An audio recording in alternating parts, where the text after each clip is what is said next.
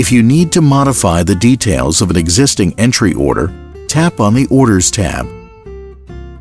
Select the order and then tap Change. The price of the order and the trade size can be adjusted. Confirm your changes with this button. Please note that trading must be open to modify an existing order.